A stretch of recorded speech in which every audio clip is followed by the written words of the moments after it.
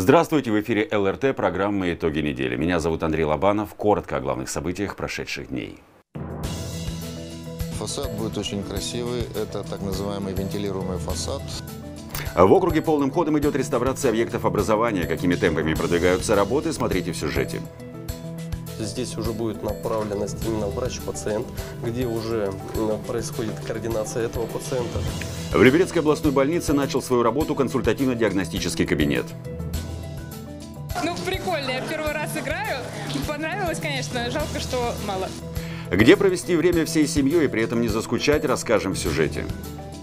Идет заливка бетоном, выравнивание поверхности, армирование, установка борта. И заново мы снова будем ждать наших гостей, э, посетителей на каток. В парке Наташинские пруды скоро появится роллер-дром.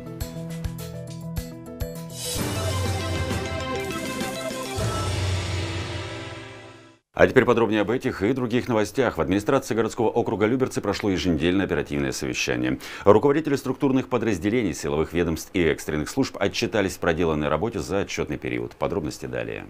На минувшей неделе в Люберецкую полицию поступило более 2000 обращений. 31 заявление стало поводом для возбуждения уголовных дел. Сотрудники правоохранительных органов раскрыли по горячим следам 26 преступлений. По словам начальника ведомства Евгения Романцева, неделя обошлась без резонансных происшествий. Сотрудники межмуниципального управления занимаются совместно с образованием сдачи единого экзамена по охране общественного порядка и также с директорами наших парков э, занимаются охраной общественного порядка. 37 выездов совершили сотрудники Люберецкого пожарно-спасательного гарнизона. Пять раз тревожная кнопка срабатывала из-за возгораний в жилых домах. В результате пожара в частном секторе в Томилине погибла женщина.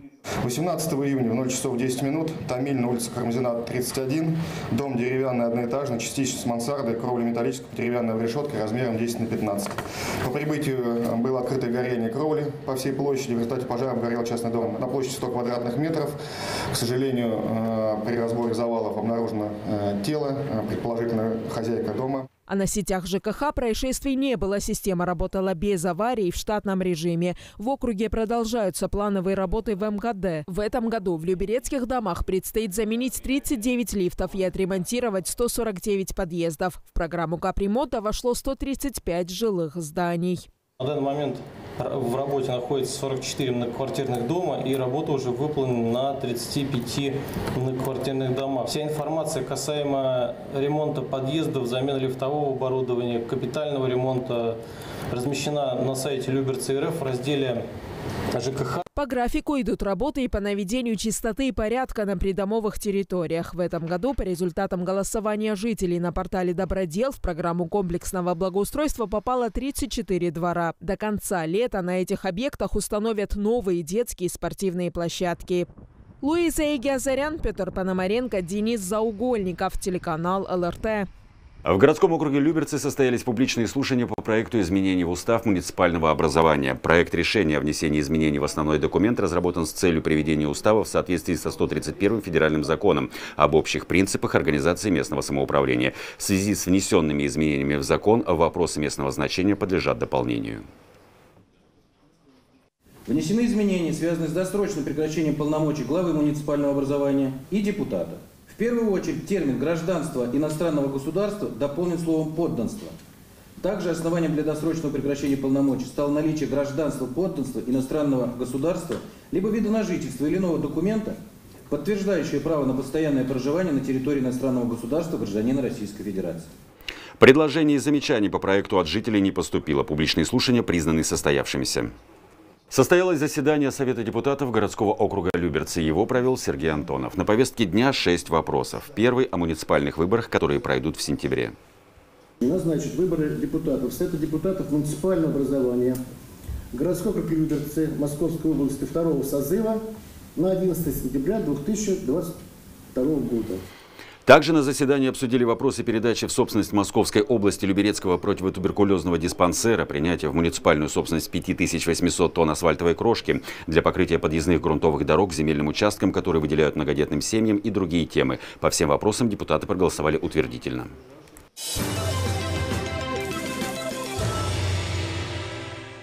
Мемориальная акция «Свеча памяти» за несколько лет стала международной. В ночь с 21 на 22 июня огонь горел более чем в тысячи городах по всему миру. Жители Люберец тоже присоединились к этой акции. Ее ежегодно организуют волонтеры Победы и партия «Единая Россия».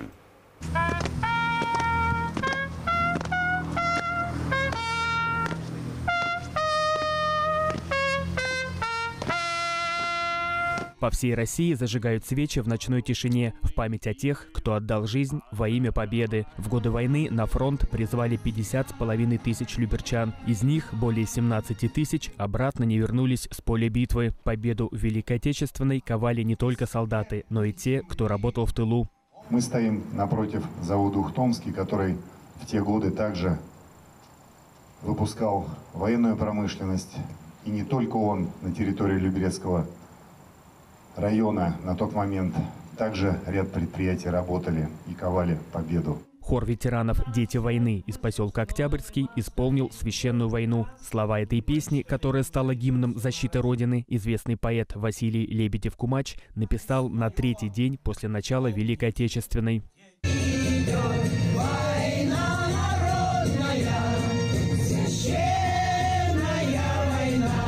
Жители округа почтили память павших героев, минуты молчания и возложили цветы к мемориальному комплексу. Война оставила след в судьбе каждой семьи. У меня папа погиб в 42 году.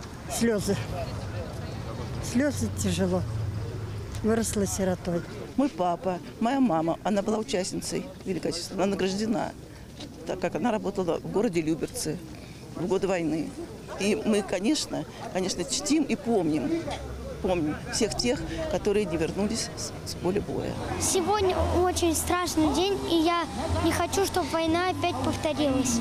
Люберецкие молодогвардейцы и участники Всероссийского движения «Волонтеры Победы» на площади перед памятником воину-освободителю выложили свечами слово «помним» в память о тех, кого никогда не вернуть. Я зажег э, свечу в честь моего деда, который прошел войну, но, к сожалению, его сегодня нет с нами. В этот день произошли просто ужасные события для всего народа, для нашей страны.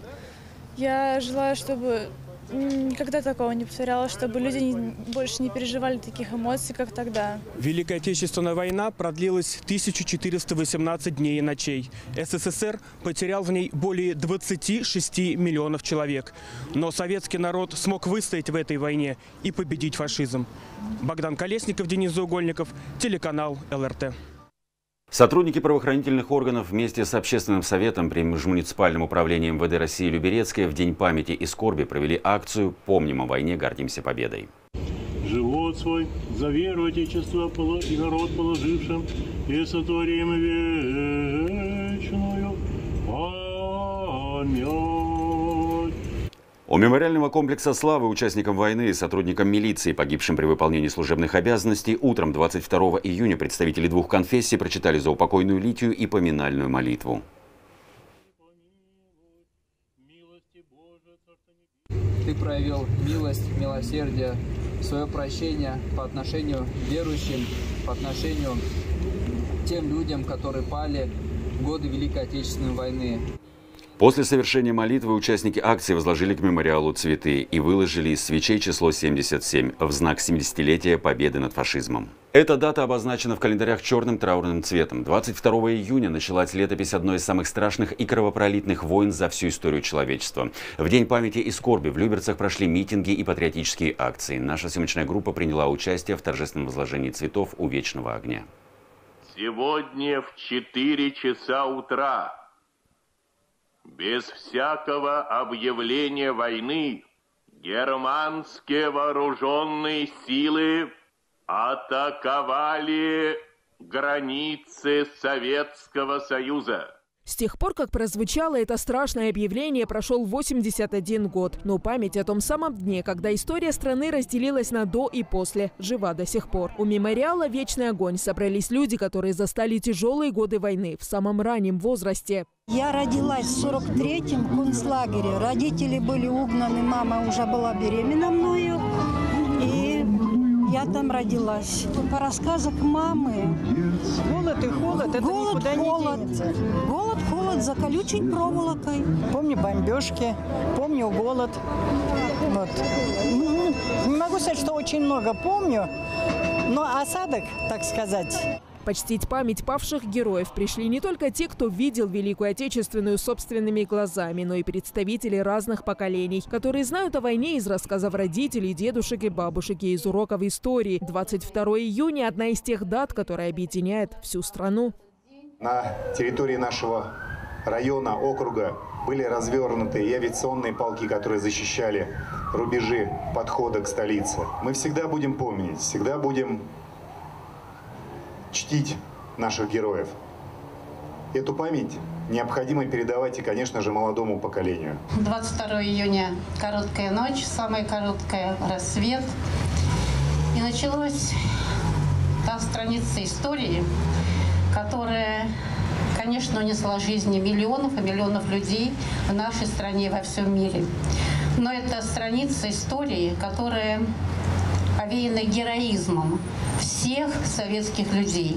В память о том самом героизме и о людях, чьи жизни забрала война, объявили минуту молчания. В 12.15 по московскому времени жизнь всей страны замерла на 60 секунд. После этого жители городского округа Люберцы возложили цветы у подножия памятника воину-освободителю.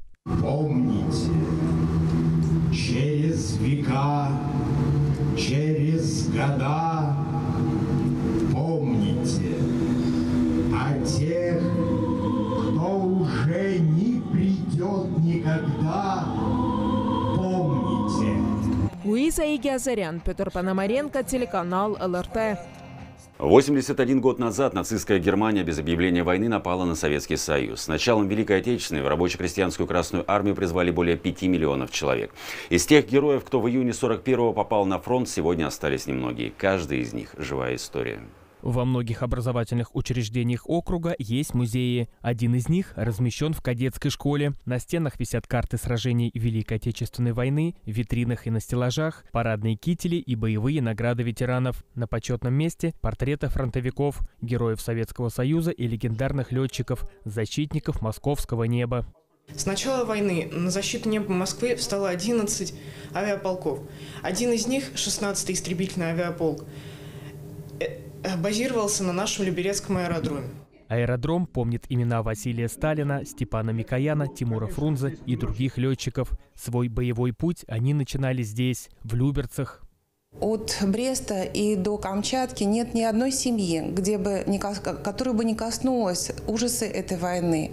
Нет ни одного населенного пункта, где не стоял бы обелиск памяти павших за нашу Родину. То наша задача сейчас жить так, чтобы история подвига народа осталась навсегда в памяти. И в кадетской школе эту историю сохраняют. Одна из экспозиций здесь посвящена боевому пути наставника люберецких кадетов, заслуженного военного летчика СССР Владимира Ялина. Наше знакомство с ним произошло очень интересным образом. Во время одной из акций нашей школе был подарен портрет Ялина. И он лично пришел вручить его нам. Вот экспозиция, посвященная этому человеку. В дар школьному музею Владимир Федорович передал свои фотографии, военную форму, шлемофон и планшет с изображением самолета Ан-22, который он освоил одним из первых летчиков. Полковник Ялин сейчас не часто выходит из дома, но гостям всегда рад. Вспоминать о войне 98-летний фронтовик не любит. Тяжело. Но 22 июня 41 года навсегда изменила жизнь парня, который мечтал поступить в Институт лесного хозяйства. Война началась, призвали в армию, прошел комиссию, сказали в летное училище. Вот оттуда и пошло, 41 года. Владимира Ялина направили в Тулун. Курсант учебной авиаскадрильи прошел подготовку на самолетах По-2. Затем окончил высшую авиационную школу летчиков авиации дальнего действия. Первый боевой вылет Ялин совершил в июне 44-го. В ночи летал бомбить фашистов в Полоцк. Позже были боевые вылеты в Тильзит, Ригу, Инстербург, Лебаву и Кёнигсберг. Да думали, что каждый может погибнуть, потому что летишь туда, там стреляют тебя. Все, и все к этому примерно были готовы. Я за живое стала брать, это уже когда в Германию последние летали. В летной книжке ветерана более 7 тысяч часов налета. За годы службы Владимир Федорович освоил 10 типов самолетов. Уже после демобилизации 20 лет проработал на Ухтомском вертолетном заводе, разрабатывал инструкции для летчиков. Ему было за 70, когда он ушел на заслуженный отдых, а когда исполнилось 90, решил написать книгу для потомков, чтобы знали, чтобы помнили. Богдан Колесников, Петр Пономаренко, телеканал ЛРТ.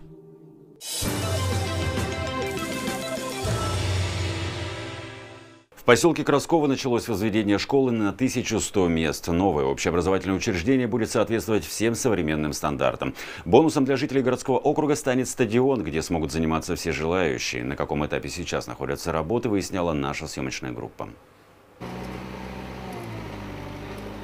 Строительная техника и рабочие зашли на эту площадку 6 июня. На данный момент идет разработка котлована. Чтобы завершить фундаментные работы и выйти на ноль, строителям понадобится около трех месяцев.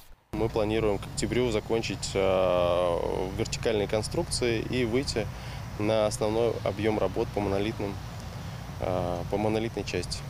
Сейчас на площадке задействовано 20 человек. Количество строителей будут корректировать по мере увеличения объема работ. Будущая школа будет состоять из трех секций для младших, средних и старших классов. В четырехэтажном здании разместится столовая со своим пищеблоком, актовый зал, тематические кабинеты и два спортивных зала. Возможность заниматься физкультурой будет и на улице, причем не только у школьников, но и у всех жителей поселка на современном стадионе. В придачу к новому, крайне востребованному объекту образования красковчане получат и новую благоустроенную лесопарковую зону. На территории площадки предусмотрено оборудованное место, где по просьбам жителей предоставлена возможность ознакомиться с паспортом объекта и разрешительной документацией. Планируется, что новая школа начнет работу 1 сентября 2023 года. Луиза Игиазарян, Денис Заугольников, телеканал ЛРТ. В городском округе Люберцы продолжается капитальный ремонт объектов образования. Школы и детские сады, закрытые на реставрацию, вновь встретят своих воспитанников 1 сентября. Одно из учреждений, которое попало под госпрограмму, детский сад номер 12 в Октябрьском. Какими темпами там продвигается работа, узнала Луиза Егиазарян. Этот детский сад объединяет в себе две эпохи. Вот эта часть построена в 1938 году, а вот это уже в послевоенное время, в начале 60-х. Большую историю дошкольного учреждения будут хранить только стены. Это единственное, что останется нетронутым во время масштабного ремонта. Уже обновили кровлю, завершили внутреннюю отделку, заменили старые деревянные потолки и установили новые окна. Работа над преображением детского сада кипит каждый день и при любой погоде. Скоро строители займутся фасадом здания. Фасад будет очень красивый. Это так называемый вентилируемый фасад. Вначале фасад утепляется, устанавливаются направляющие и э, облицовывается плитками 60 на 60 размером сантиметров. Э, либо это алюминий может быть краш крашеный, либо оцинковка крашеная, либо это керамическая плитка. В целом работа выполнена на 35%. До сдачи объекта осталось ровно два месяца. Сомнений, что строители уложатся в сроки на сегодняшний день, нет направлены средства федеральные, областные, также и городского округа. И сейчас проходит активная стадия ремонта. А, к 1 сентября здесь сюда уже пойдут детишки в обновленный детский сад. Э, контракт у нас подписан до 24 августа. Новым будет не только здание детского сада, но и его содержимое. После ремонта сюда завезут современное оборудование и мебель. Преобразится и территория дошкольного учреждения. Во дворе установят малые архитектурные формы и поменяют ограждения. Луиза Игиазарян, Петр Пономаренко, телеканал ЛРТ. В целях обеспечения газовой безопасности в многоквартирных домах устанавливают систему автоматизированного контроля загазованности. В рамках исполнения поручения губернатора Московской области Андрея Воробьева в Люберцах до конца года на безвозмездной основе датчиками оснастят более 60% квартир муниципального жилого фонда. В целях обеспечения газовой безопасности в многоквартирных домах устанавливают систему автоматизированного контроля загазованности. В рамках исполнения поручения губернатора Московской области Андрея Воробьева в Люберцах до конца года на безвозмездной основе датчиками оснастят более 60% квартир муниципального жилого фонда. Долго будет устанавливаться? Буквально 2-3 минуты. К установке автоматических сигнализаторов утечки газа в Люберцах приступили в середине марта. Сотрудники газовой службы на месте составляют договор, устанавливают прибор и рассказывают, как он работает. Если какая-то концентрация газа э, присутствует в квартире на отключающих устройствах или на газовом оборудовании, то сигнализатор сразу начинает сигнализировать. Звуковой сигнал издает и светит индикатор. То есть понятно, что уже э, сработал датчик. Нужно отключить газовое устройство от газа, кран на запорной арматуре, вызвать газовую службу для устранения утечки. Нина Подолина живет в этой квартире на улице 3 почтовое отделение почти 10 лет. Сигнализатор загазованности планировала установить давно, но не знала, какая организация обслуживает газовое оборудование в ее доме официально. Тем более сейчас э, такие случаи происходят очень часто. Вот, взрывы газа, утечки газа. Вот, так что большое спасибо за то, что делаете для нас. Теперь я спокойна за свою семью, за своих близких, за свой дом. В муниципальных квартирах Люберец с начала весны установлено более 400 датчиков. Все работы выполняют за счет средств местного бюджета. У нас идет полностью обзвон жителей по муниципальным квартирам. Размещается информация в социальных сетях. Также размещается информация на стендах многоквартирных домов. Бесплатно устанавливают в каждой муниципальной квартире данные датчики. До конца года сигнализаторы загазованности установят более чем в 4400 квартирах округа. Это составит 60% от общего числа квартир муниципального жилого фонда. Богдан Колесников, Денис Заугольников, телеканал ЛРТ. В Люберцах в этом году планируют приступить к строительству надземного пешеходного перехода через железнодорожные пути. Его возведут на участке между платформой Ухтомской и станцией Люберцы-1. О ходе реализации проекта узнали мои коллеги. Здесь мы э, эту улицу перекроем, сделаем mm-hmm. пешеходной для безопасности mm-hmm. граждан. В гараж будет заезд только вот по этому mm-hmm. проезду. На месте, где построят надземный пешеходный переход, исполняющий обязанности главы городского округа Люберцы Владимир Волков провел выездное совещание. В нем приняли участие сотрудники управления транспорта и организации дорожного движения, представители РЖД и административно-пассажирской инспекции. В этом году начнется строительство нового пешеходного перехода через железную дорогу. Он очень востребован, так как а, проектная организация при Э, в самом выборе места и в моменте проектирования считала количество людей, которые проходят здесь. В среднем порядка 100 человек в час проходит по этому отрезку железной дороги. На участке от платформы Ухтомская до станции Люберцы-1 три основные народные тропы. В неустановленных местах люди переходят через железную дорогу десятилетиями. Только с начала года на железнодорожных путях в округе погибли 13 человек. Сломанные местными жителями ограждения работники РЖД восстанавливают еженедельно. Но свой привычный маршрут люди менять не готовы. Данное место оно очень интенсивное. Сейчас провели работы по значит, ну, обрешетки, заварки забора ну, со стороны третьего главного пути. Сейчас э, закрываем со стороны второго главного пути профлистом. Усилим далее значит, уже металлическим каркасом, дабы постараться, чтобы простоял этот забор чуть побольше. Делаем, опять же, это в рамках того, что будет строиться надземный пешеходный переход. В настоящий момент проектная документация проходит экспертизу. Затем подрядная организация, которая выиграет конкурс на проведение строительных работ, приступит к реализации проекта. Преимущество этого пешеходного перехода над теми, которые делались ранее, это лифт, это остекление э, стеклом триплекс вандалоустойчивым. Э, то есть даже если что-то, какие-то нехорошие вандалы нарисуют, все это будет легко смыто. И это привлекательный архитектурный вид, современный. Надземный пешеходный переход в Люберцах планируют построить в течение двух лет. Его строительство администрация округа взяла под контроль. Богдан Колесников, Денис Заугольников, телеканал ЛРТ.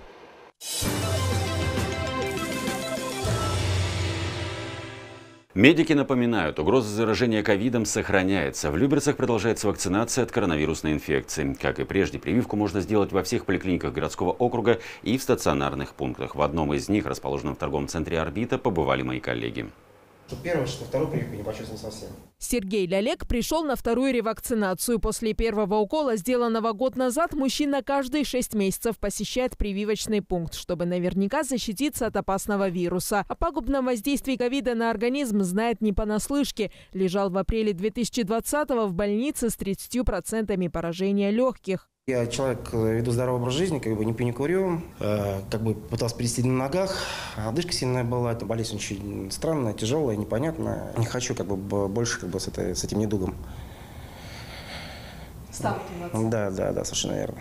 Придерживаться принципа «береженого Бог бережет» Сергей советует всем. По рекомендациям врачей ревакцинацию стоит делать хотя бы раз в год. Особенно важно позаботиться о своем здоровье людям старше 60 лет. Ковид у нас еще не ушел.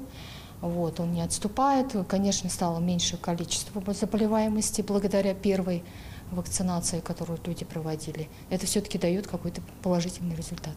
В настоящее время в городском округе работает три стационарных пункта вакцинации в торговых центрах «Орбита», «Светофор» и в Центральном МФЦ. Ознакомиться с графиком их работ можно на официальном сайте Люберецкой областной больницы. Кроме того, прививку от коронавируса можно сделать и в любой поликлинике. При себе необходимо иметь паспорт, полис ОМС и СНИЛС.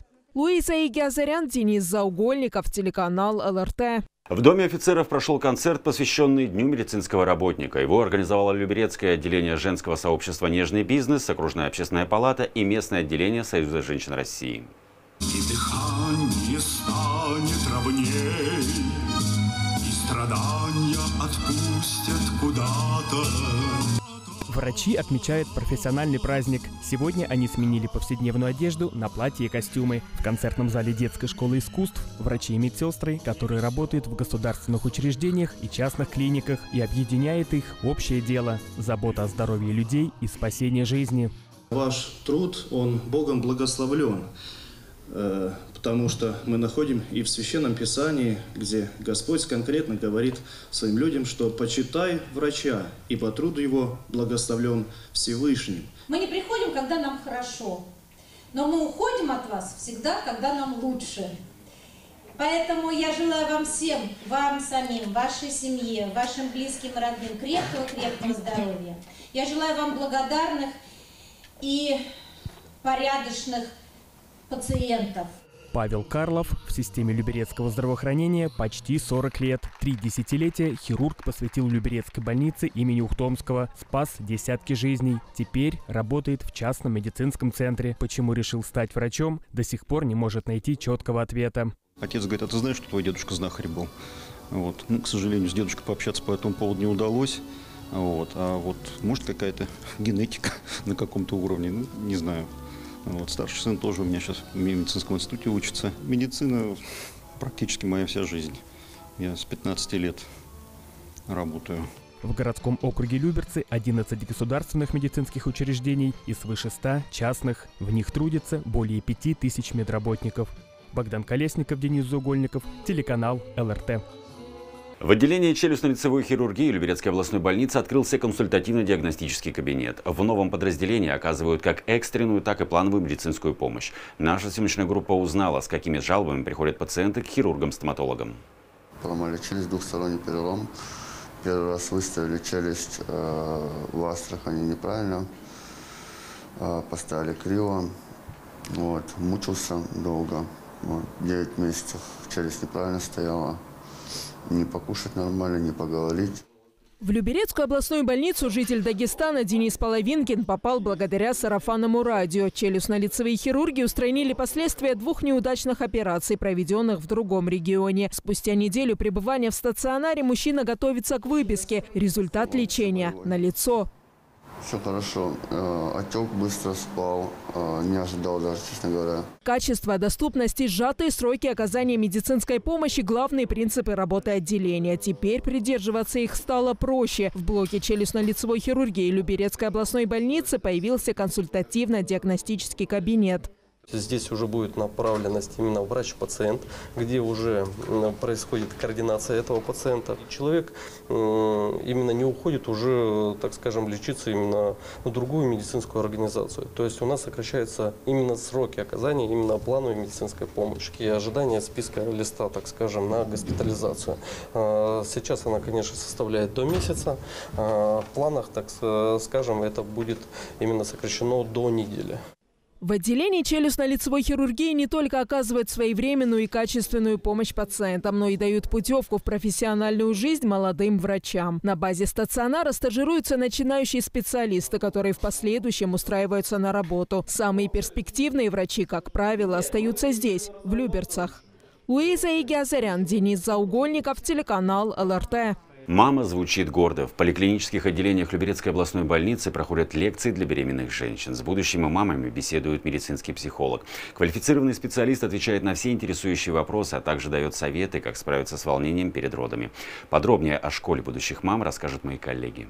Жительница городского округа Люберцы Яна Тугалукова готовится к важному событию. В конце августа она впервые станет мамой. Встреча с сыном для нее долгожданный и ответственный момент. По совету врача-гинеколога девушка стала посещать школу будущих мам. Ну, роды – это естественный процесс все-таки, и каждая женщина проходит через это, проходила и будет проходить, естественно. Вот. И когда у тебя первые роды, ты, в принципе, не знаешь, что, как будет у тебя происходить, и эти, ну, когда ты уже направляешься, так скажем, рожать, то нужно все-таки как-то знать, что будет происходить, когда там ну, какие-то ощущения, и как-то помогать все-таки врачу и малышу появиться на свет. Курс состоит из четырех лекций. Медицинский психолог затрагивает самые важные темы – от первых недель беременности до послеродового периода. По словам специалиста, самый актуальный вопрос беременных женщин – как справиться с волнением и страхом перед встречей с малышом. Настрой на позитив – это всегда, это по жизни каждому человеку должно помогать. А вот, это не отказываться от поддержки, но она была не прям навязчивой, чтобы не летали над тобой, как над бедным птенцом, птенцом бабушки и прабабушки, да. Но всегда поддержка от самых близких э, людей, от нее не отказываться, не закрываться в себе ни в коем случае, не держать э, страхи и тревоги внутри себя. Школа будущих мам работает с ноября прошлого года в 3, 6 и 10 поликлиниках. Ее услугами воспользовались уже несколько десятков женщин. Уточнить расписание занятий и лекций можно у участковых акушеров-гинекологов. Луиза Игиазарян, Денис Заугольников, телеканал ЛРТ.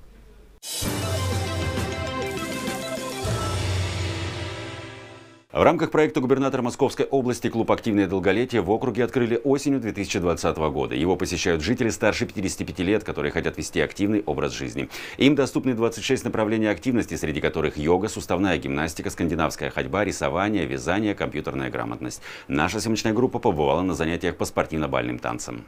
Раз, два, три.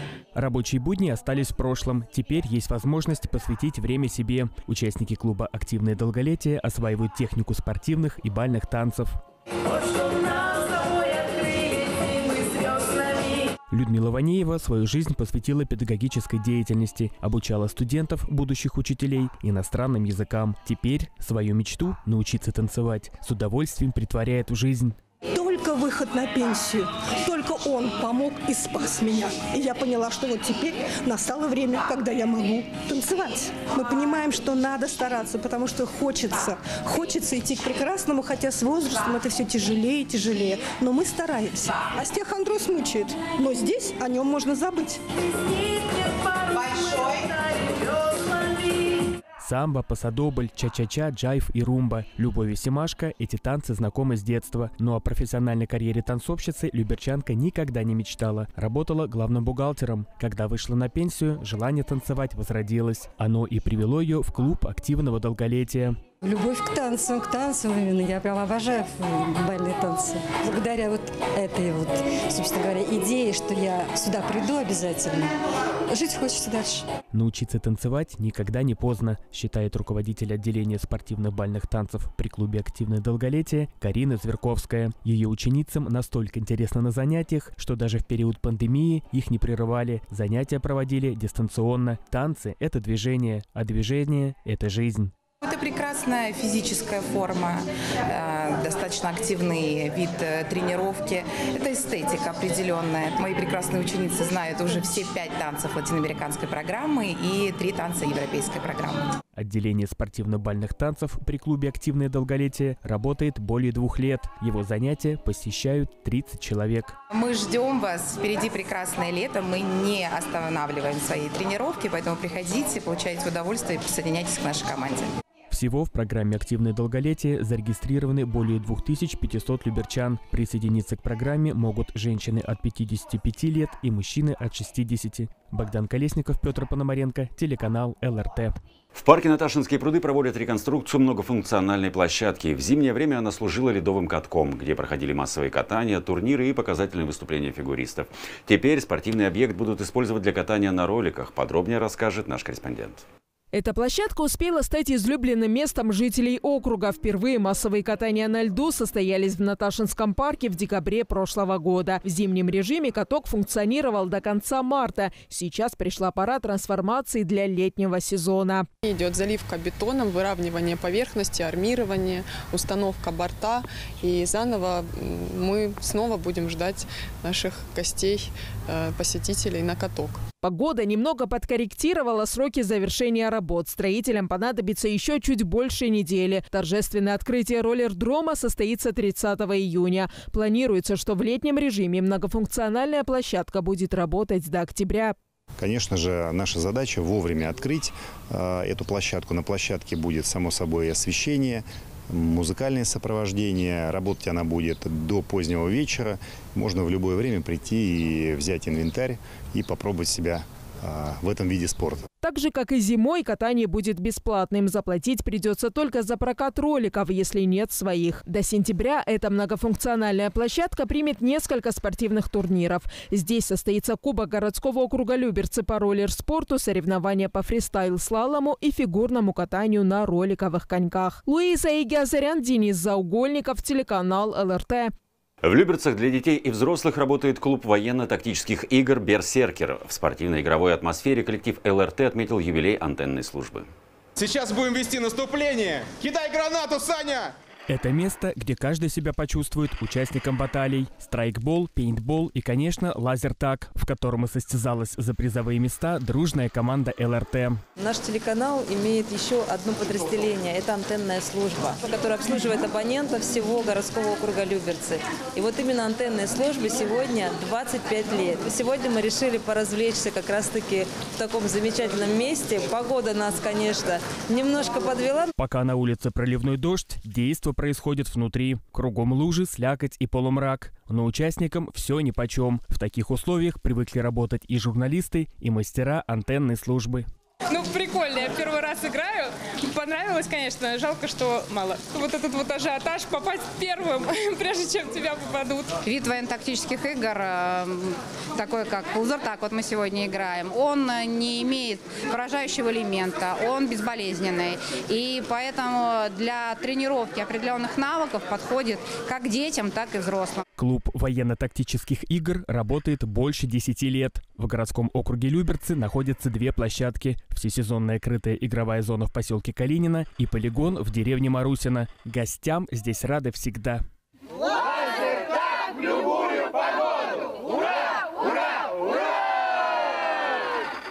Богдан Колесников, Ирина Иванова, Сергей Гвоздев, Денис Заугольников. Телеканал ЛРТ.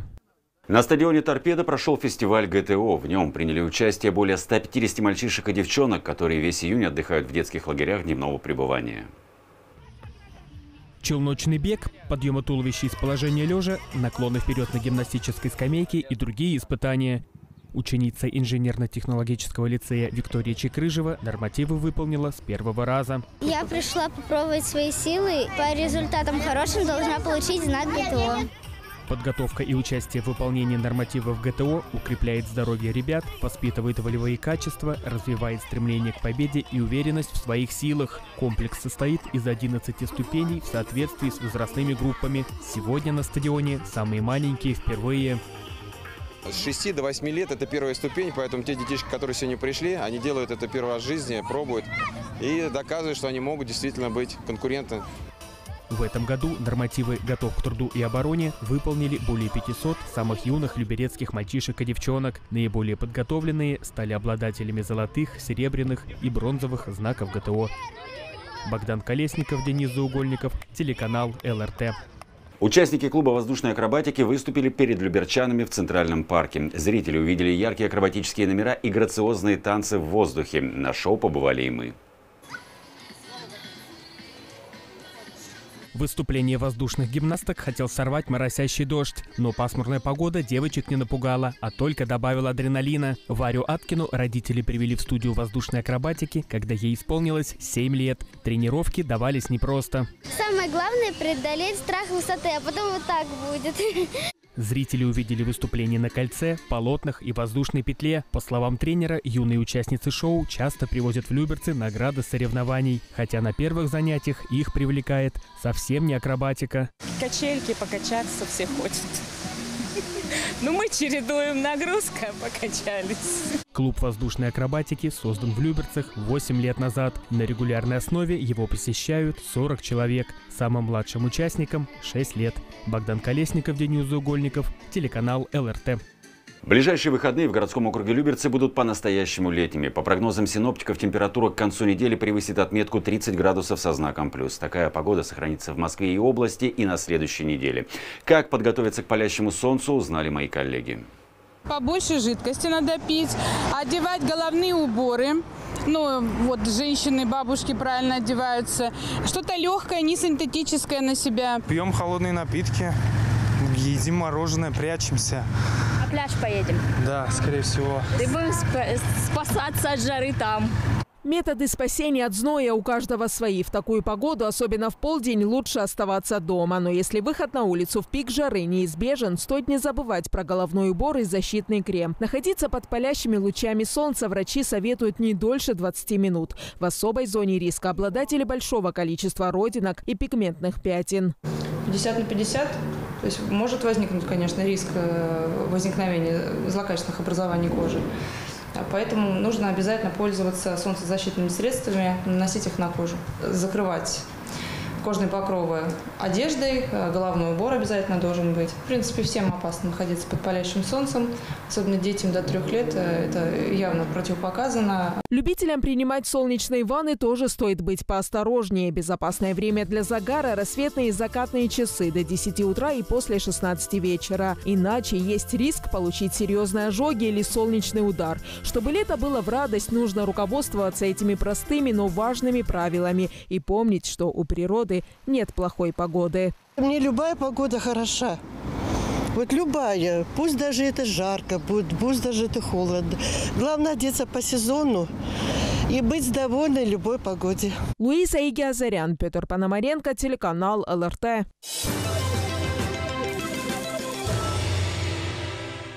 А на этом выпуск завершен. Еще больше подробностей смотрите на нашем сайте lrt.tv и в социальных сетях. До свидания. Thank you.